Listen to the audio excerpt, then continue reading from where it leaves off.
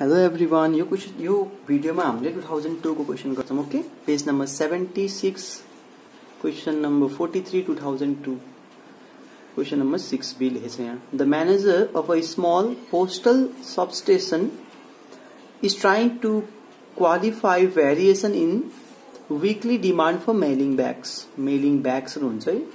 एन्भोलप जस्तो खाम जस्तो। त्यसको विकली डिमान्ड कति हुन्छ त्यो डिसाइड त्यो चाहिँ हेरिरहेछ। अनि she has decided to assume that this demand is normally distributed भनिसकेको क्वेसन नर्मल डिस्ट्रिब्युसनको भन्छ she knows that on average hundred bags are purchase weekly भन्छ एभरेज कति हो त हामीलाई हन्ड्रेड ब्याग्स एक हप्तामा हन्ड्रेडवटा ब्याग के अरे पर्चेज गर्छ कस्टमरहरूले and that ninety percent of the time weekly demand is below one hundred fifteen one hundred फिफ्टिनभन्दा कम किन्ने चान्स कति छ त नाइन्टी फाइभ पर्सेन्ट चान्स छ सरी नाइन्टी पर्सेन्ट चान्स छ what is the standard deviation of this distribution standard deviation सोधेछ mean दिएछ हामीलाई अनि एउटा प्रायोरिटी र एउटा एक्स पनि दिएछ अनि सोधेको के त स्ट्यान्ड एभिएसन अनि सेकेन्ड क्वेसन हेरौँ अहिले ओके स्टार्ट गरौँ टु टूको क्वेसनमा हामीलाई के भने त in normal distribution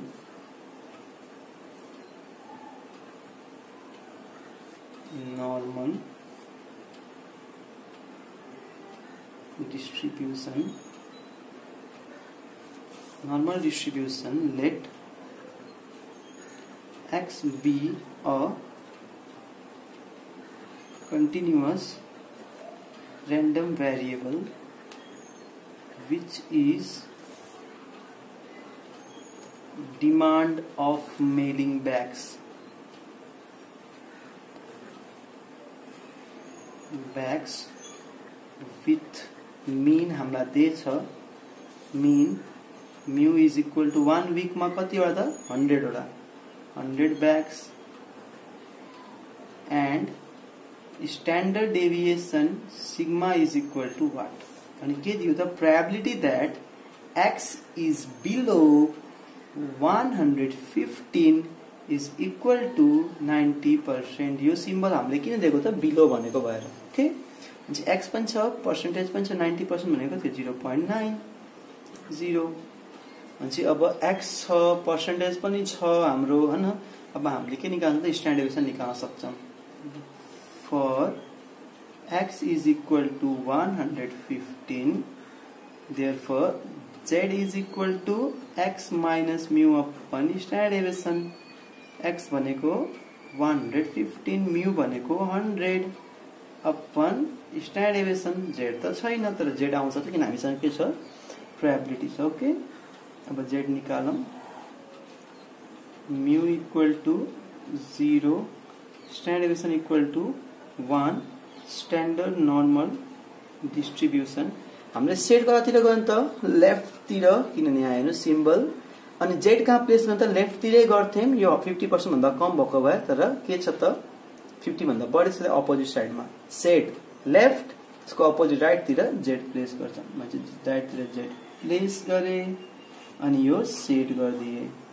अब यो सेट गरेको पोर्सन जुन छ एरिया त्यो नाइन्टी पर्सेन्ट देखिन पर्छ नाइन्टी पर्सेन्ट देखेछ किन यति फिफ्टी हुन्छ यति फोर्टी हुन्छ अनि यो बजेको टेन ठिक छ? भनेपछि यो एरिया हामीलाई थाहा छ कति हो त? जिरो पोइन्ट फाइभ हो।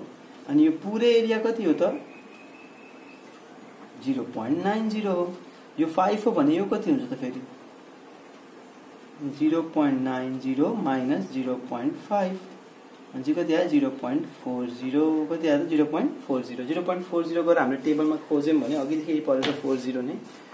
ल फोर जिरो खोज्यौँ भने फर्स्ट टाइम कति यहाँ भेटाउँछौँ? वान पोइन्ट टूको नाइनमा। त्यो पनि एक्ज्याक्ट छैन। वान पोइन्ट टूको nine plus one point टूको eight divide by two one point two eight five ल one point two eight five ल अब सिग्मातिर पठाइने सिग्मा यहाँ गइहाल्छ यहाँ बच्छ कति त? Fifteen upon one point two eight five ल गरौँ fifteen divide by one point two eight five eleven point six seven therefore sigma is equal to eleven point six seven okay एउटा यो एन्सर त आयो हाम्रो फ़र्स्ट नम्बरमा one नम्बरमा answer आयो हाम्रो। वान नम्बर गर्न थालेको हामीले है therefore standard deviation sigma is equal to eleven point six seven अब सेकेन्ड क्वेसनमा जाउँ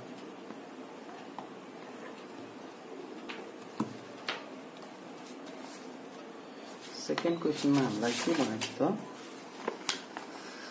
the manager want to stock enough bags धेरै भन्दा धेरै ब्याग स्टक गरेर राख्न खोजिरहेछ जम्मा गरेर राख्न खोजेछ week so that the probability of running out of bags is no higher than five percent bag नपुग्ने चान्स मात्र कति होस् रे जिरो पोइन्ट फाइभ मात्र होस् रे अन्त फाइभ पर्सेन्ट मात्र चान्स होस् कि ब्याग हजुरको पुग्दैन.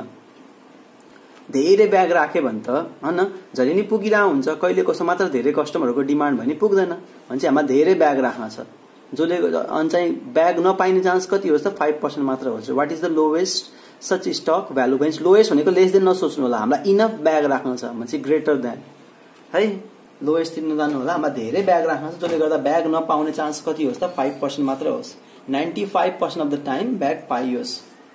भनेपछि probability of X is higher than what value is equal to zero point zero five यही सोधेको हामीलाई इनफ ब्याग राख्न जसले गर्दा नपाइने चान्स कति होस् त मात्र फाइभ पर्सेन्ट होस्।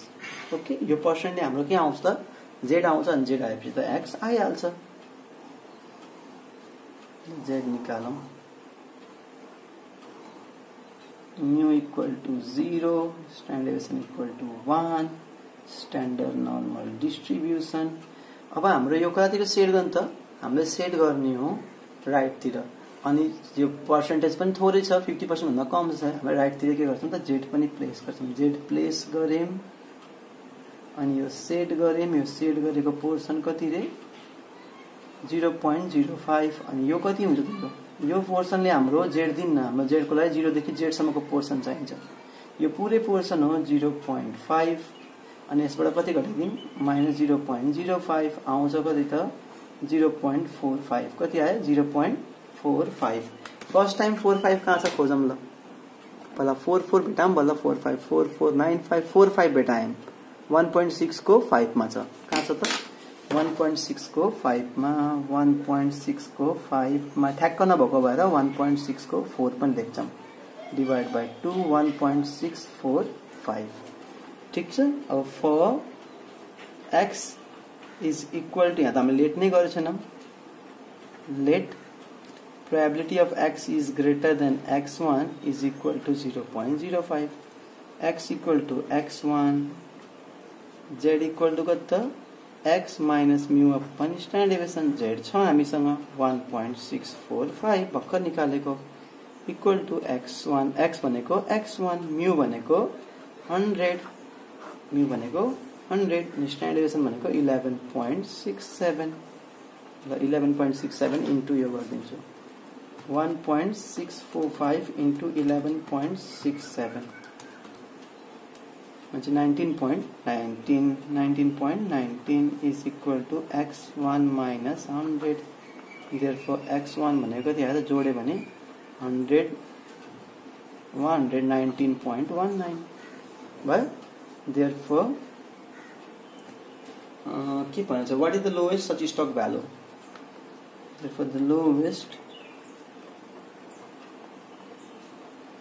such stock value is approximately गर्ने हो कति? ब्याग त पोइन्टमा हुँदैन। वान हन्ड्रेड नाइन्टिन नै हुन्छ।